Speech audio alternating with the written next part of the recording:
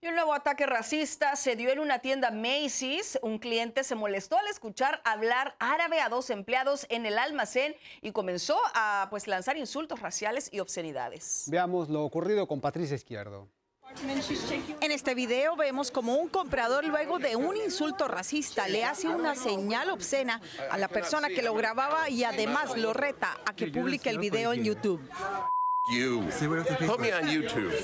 En el video que se ha hecho viral en las redes sociales, todo comienza cuando el cliente trataba de comprar un bolso.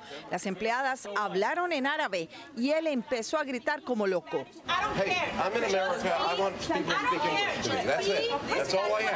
En ese momento, otra clienta salió en defensa de la empleada y le pidió respeto al hombre por ella.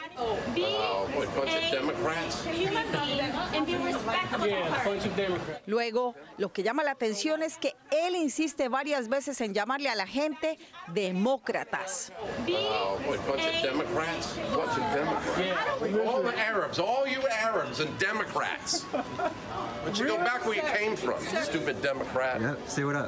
Esta no es la primera vez que se dan ataques raciales por no hablar en inglés.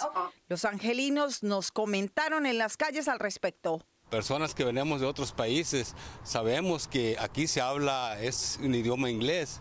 Todos podemos prepararnos para hacer algo diferente, como ir a la escuela. Hay muchas oportunidades en este país de ir a la escuela para aprender inglés.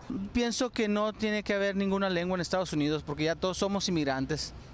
Ataques racistas y xenofóbicos siguen en aumento desde que Donald Trump está en el poder.